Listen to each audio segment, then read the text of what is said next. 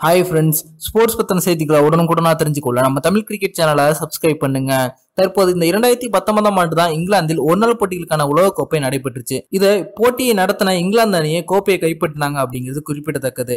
ரொம்பவே எதிர்பார்க்கப்பட்ட இந்திய அணி அரையிறுதியில் தோல்வியை தழுவுனது அனைவருக்குமே பெரிய ஏமாற்றத்தை அழுத்துச்சு இருந்தாலும் தற்போது இந்திய அணிக்கு மற்றொரு உலகக்கோப்பையை வெல்லக்கூடிய ஒரு அற்புதமான வாய்ப்பு நெருங்கி வந்திருக்கு. அது பத்தின முழுமையான விவரத்தை பார்ப்போம்.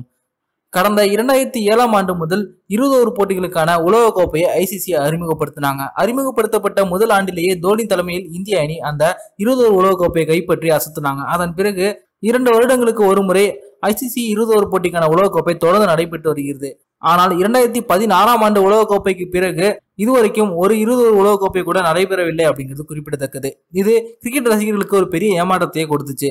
ஆனால் தற்போது அடுத்த இரண்டாயிரத்தி இருபதாம் ஆண்டு மற்றும் இரண்டாயிரத்தி இருபத்தி ஒன்றாம் ஆண்டு இந்த இரண்டு ஆண்டுகளில் இருபது ஓவர் போட்டிக்கான உலகக்கோப்பையை தொடர்ந்து இரண்டு வருடங்களில் நடத்தப்போவதா ஐசிசி அதிரடியான அறிவிப்பை வெளியிட்டிருக்காங்க. ஆனா அதற்கு பதில ஐசிசி சாம்பியன்ஸ் டிராபி அப்படின்ற ஒரு நாள் தொடருக்கான மினி உலகக்கோப்பை தொடரை ஐசிசி ரத்து பண்ணியிருக்காங்க. தற்போது ஐபிஎல் பிக் பேஷ் போன்ற உள்ளூர் டி டுவெண்டி போட்டிகளின் வருகையின் காரணத்தினால ஒரு நாள் மற்றும் டெஸ்ட் போட்டிகளின் ஆர்வம் குறைந்து விட்டது அப்படின்னு சொல்லலாம். இந்த சமயத்துல தொடர்ந்து இரண்டு வருடங்களில் இரண்டு உலகக்கோப்பை தொடரை அதுவும் இருபது ஓவர் போட்டிக்கான உலகக்கோப்பை தொடரை நடத்த போவதா ஐசிசி அறிவிச்சிருக்கிறது. கிரிக்கெட் ரசிகர்களுக்கு பெரிய மகிழ்ச்சி ஏற்பட்டிருக்கு அப்படின்னே சொல்லலாம். இதற்கு முன்னாடி பாத்தீங்கன்னா இரண்டாயிரத்தி ஒன்பது மற்றும் இரண்டாயிரத்தி பத்து இந்த இரண்டு வருடங்களில் மட்டுமே தொடர்ந்து இரண்டு முறை இருபது ஓவர் போட்டிக்கான உலகக்கோப்பை நடத்தப்பட்டுச்சு. அதன் பிறகு கிட்டத்தட்ட பத்து வருடங்களுக்கு அப்புறம் மீண்டும் இதே போல இரண்டு வருடங்களில் இரண்டு இருபது ஓவர் போட்டிக்கான உலகக்கோப்பை நடத்த போறாங்க.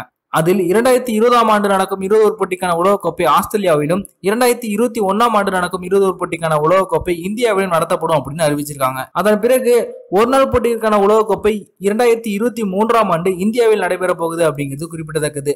இந்த இரண்டாயிரத்தி பத்தொன்பதாம் ஆண்டின் உலகக்கோப்பை வாய்ப்பை இந்திய அணி நழுவ விட்டிருந்தாலும் கூட அதன் பிறகு இரண்டாயிரத்தி இருபத்தி ஒன்று மற்றும் இரண்டாயிரத்தி இருபத்தி மூன்று இந்த இரண்டு வருடங்களில் நடக்கும் இரண்டு உலகக்கோப்பை போட்டிகள் வந்து இந்தியாவில் நடக்கும் இருக்கும் காரணத்தினால அது இந்திய அணி அதை வெல்வதற்கு அதிகமான வாய்ப்பு இருக்கு அப்படிங்கிறது குறிப்பிடத்தக்கது. இதனால தற்போது இந்திய கிரிக்கெட் ரசிகர்கள் எல்லாருமே ரொம்பவே சந்தோஷத்துல இருக்காங்க. இந்த வீடியோ உங்களுக்கு பிடிச்சிருந்துச்சுன்னா லைக் பண்ணுங்க ஷேர் பண்ணுங்க. நன்றி.